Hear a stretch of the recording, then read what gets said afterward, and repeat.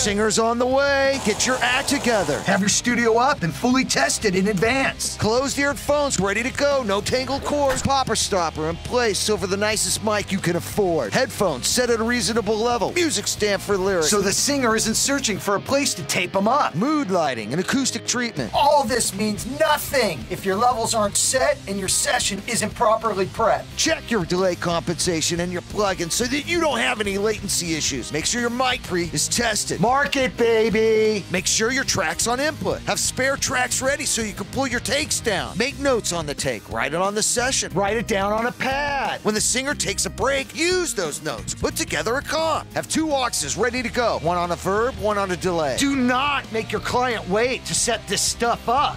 It screams amateur. Be in bars and beats at the right tempo. Even if you got an MP3 two track, take the time to lock it to a grid. Set your markers. You'll move around faster. Set your talkback and test it. If you're all set for your session, you just might record a hit.